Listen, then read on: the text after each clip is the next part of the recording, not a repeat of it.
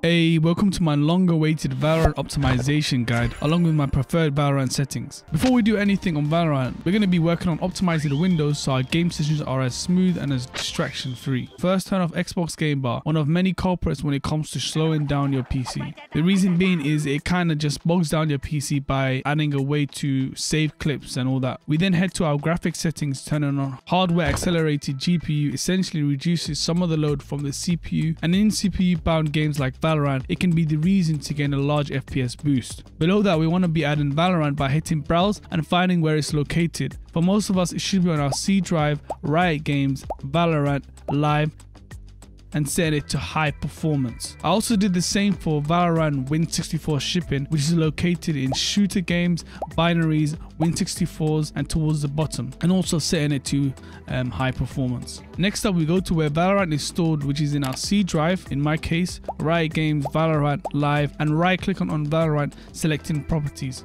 From here, we head over to compatibility, making sure everything is unchecked except for disable full screen optimization, and then clicking on change high DPI settings. From there, we're just going to be selecting override high DPI scaling. Next part may seem scary, but don't worry. We're just going to be pressing the Windows plus R or searching run in the Windows search bar and type in app data.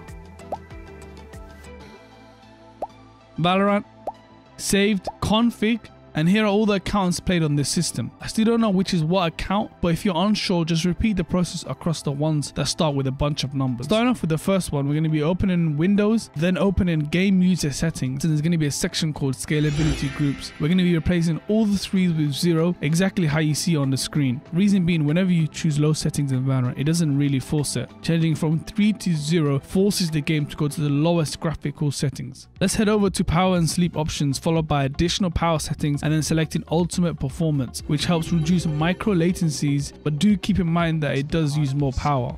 Next up, head over to background apps and set it to off. This stops background apps from running in the background, eating away and adding unnecessary input lag. Also, make sure you have 10% free space where Valorant is located. For those of you on NVIDIA GPUs, head over to the NVIDIA control panel by right clicking on your desktop and selecting control panel. Sorry AMD users. Now that you're here, select use the 3D advanced image settings options so we can have a greater degree of customizability as opposed to letting it decide for us. Then head to manage 3D settings and here are all the settings that have been chosen purely for Valorant. The main option I recommend for everyone is selecting a fixed refresh on monitor technology, using preferred maximum performance on power management, um, selecting high performance on shader quality, and finally turning off VSync. If you're wondering how I get my colors so vivid and saturated, it's mainly because of my editing in post-production. But what you can do is max out the digital vibrance in adjust desktop colors and also bump up brightness. Let's load up Valorant. Once it's loaded, tab out and open Task Manager. From here, we're going to be clicking on the drop-down menu by right clicking on Valorant and selecting go to details. Then right clicking on Valorant Win64, hovering over set priority and choosing high. Doing the same for Valorant.exe. The only issue is you have to do this every time when you start up Valorant, but that's where Lasso, a third party program comes in handy. It runs in the background and whenever you launch Valorant, it automatically has it set to high. Once you've downloaded Lasso and have Valorant running in the background, scroll down till you see Valorant Win64, right clicking, then CPU priority, then always, and then high. And also doing the same for Valorant.exe. Let's tap back to Valorant and most of the settings that I've decided to use is because it works well with my PC and offers the least input lag possible. Firstly, never play Valorant in windowed mode. That shit will add unnecessary input lag. Either choose full screen or windowed full screen. For FPS, I uncapped it because it feels the smoothest, but your mileage may vary, which is why I recommend to test out a bunch of numbers from maybe 75Hz, 144Hz, 165Hz, 390, etc. and etc. to see what suits you and your PC. For those of you that have the NVIDIA reflex settings on, set to at least on or on plus boost to help reduce input lag. But if you want a better um, explanation, check out Riot Nu's video. Now head to graphics quality. I have multi-core rendering on which allows you to use more of the CPU cores and if this option is there, definitely have it on. And I set everything to the lowest quality possible apart from Bloom. Bloom adds that glow effect on guns and abilities. Bloom is a great setting, but you know what's better? Actually ranking up from iron, bronze, silver and gold. And if you agree, check out this video. And as always, until next time.